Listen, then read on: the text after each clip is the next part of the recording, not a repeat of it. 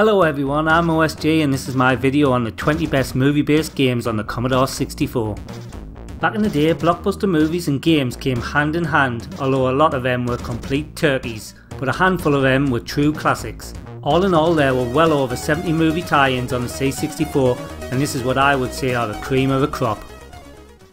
So let's kick it off with Robocop in 20th place. This was the first big box game I ever bought. I remember I was about 11 at the time and we had watched the 18 rated movie at a friend's house on his birthday.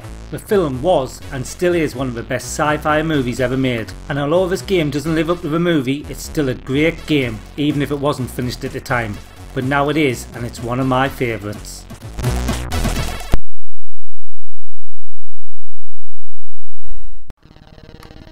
Next in 19th position is the Dam Busters. It's a strategy flight sim game that although very basic looking in the flight bits, it's really engrossing and will have you hooked once you figure out what to do.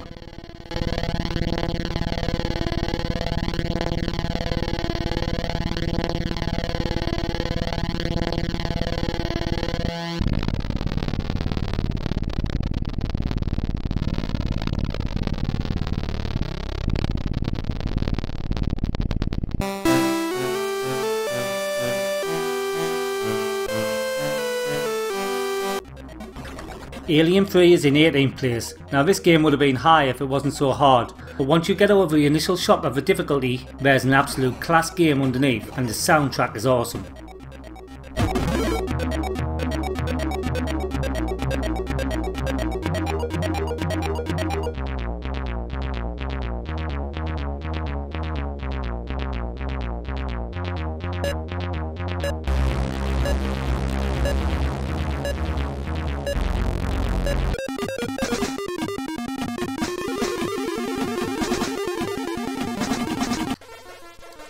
17th place is taken by Suburban Commando. This is a pretty good forgotten gem to be honest. It starts out as a standard shoot 'em up but then turns into a platform game and a good one at that. Whether you like Hulk Hogan or not, this game is definitely worth trying out.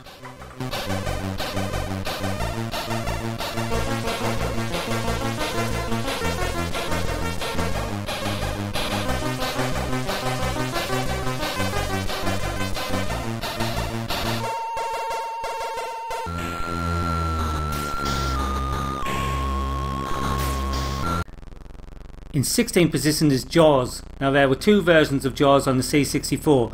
This is the best of them. It has a real cinemaware feel to it, even though it's not made by them, but made by a lesser known name, Box Office Software, which sounds very like cinemaware to me. Anyway, it's a great game that really captures the feel of the movie.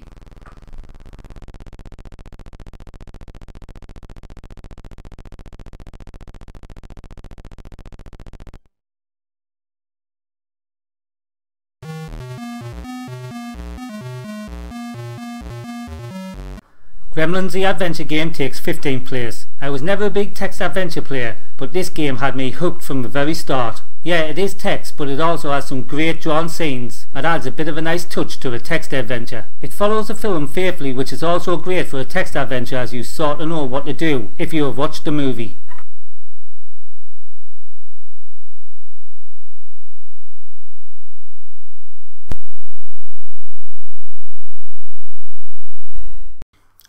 Fourteenth place is taken by Alien. This game is one of the most atmospheric on the list. It's an old game and you wouldn't expect a game as old as this to make you jump but it does in parts. It is also very like the movie and is a must play for all horror genre lovers.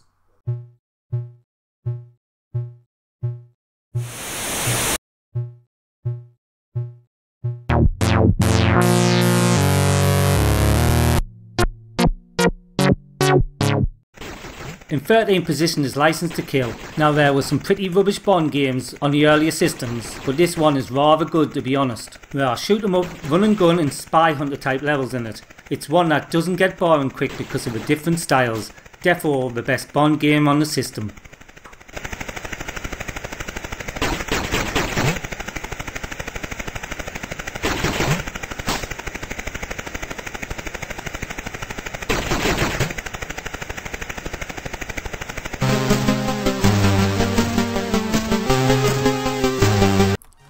The Untouchables in 12th place.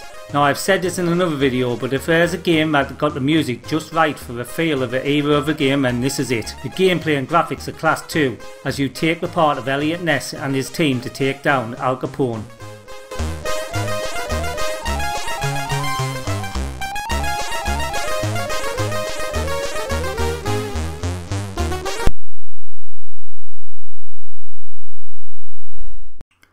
11th place is taken by Rambo First Blood Part 2. I got this and another two games in this list in the Hollywood pack that came with my C64. It was always a hard game but I just loved the music and it was a game that I always played. I later found out the reason it was so hard is that you can complete it in under 5 minutes.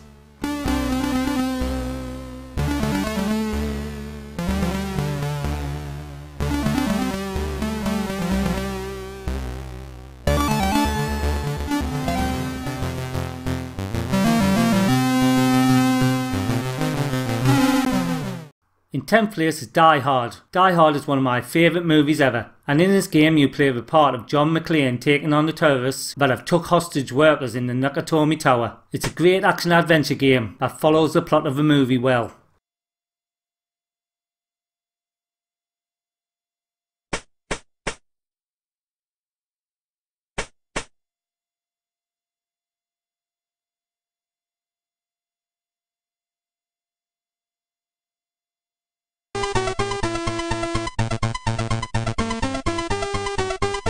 Aliens is in ninth place. Really pinpoint adaptation of the movie here. Like the first Alien game, this one throws up some scares, and although it's not the best looking game, it's got some of the best gameplay and sound effects of any of the games on the list. The fight with the Alien Queen at the end, as Ripley in the robot lifter is class.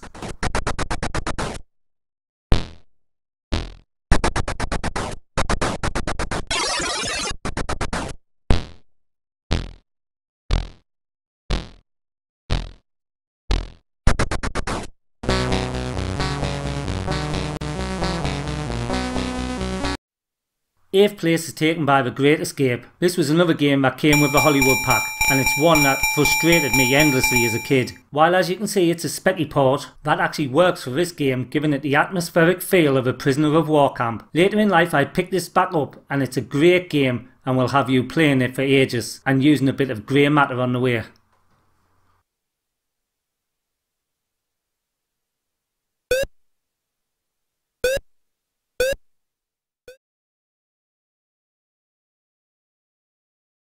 In seventh place is Ghostbusters. This is a bit of a love-hate game as some people complain when it's on best lists, but it's a class game. The music, although repetitive, is awesome. The game is based on the blockbuster film that follows the plotline of Venkman and crew travelling around the city in a bid to stop Gozer. And as in the movie, we even get the appearance from the Stay Puft Marshmallow Man.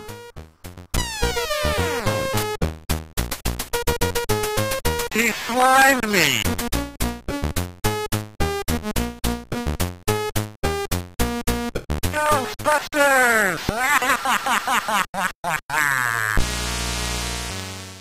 Goonies takes 6th place. As you can see this wins no prizes for graphics, but what it lacks in that department is more than made up for in the gameplay and music, as you try to get the gang of Goonies to the ultimate goal of finding One-Eyed Willie's treasure. The Goonies is one of my all time favourite films and this game is very good.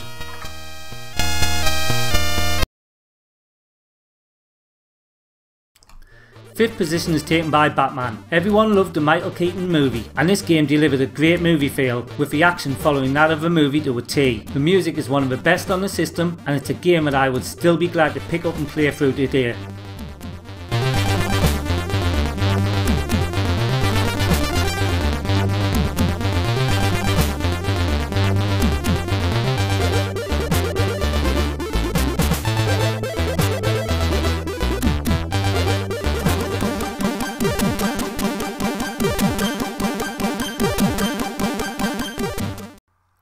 In fourth place is Labyrinth. This is based on the movie starring David Bowie and it's done very much in the style of Zak McKracken and the Maniac Mansion and that's because although it's an Activision game, it was actually made by LucasArts. As with aforementioned games, it's really good. It's just a shame that those two games overshadowed it because this is a great point and click adventure.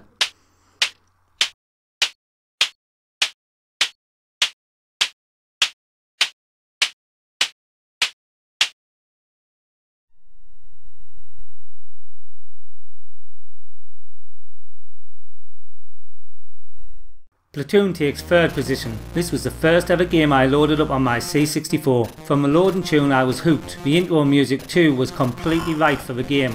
When I was young this game was rock hard as it was a case of working out what to do and I never ever got past the tunnels. I have though since completed it and it's a class game that really captured the atmosphere of the movie.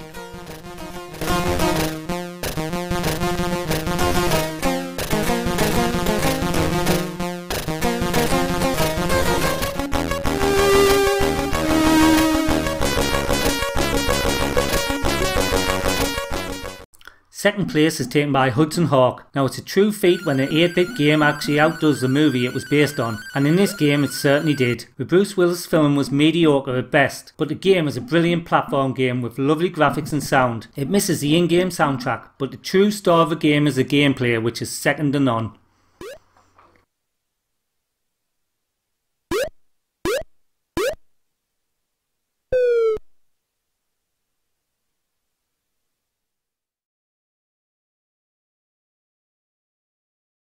And now in first place is Navy SEALs. Another Charlie Sheen movie here, and another time where the game was better than the film. It looks great, sounds great, and plays as good as any platform game on the system. The difficulty is a bit of a stopping point for most gamers though, but once you learn the game it's a great play, and defo deserves top spot.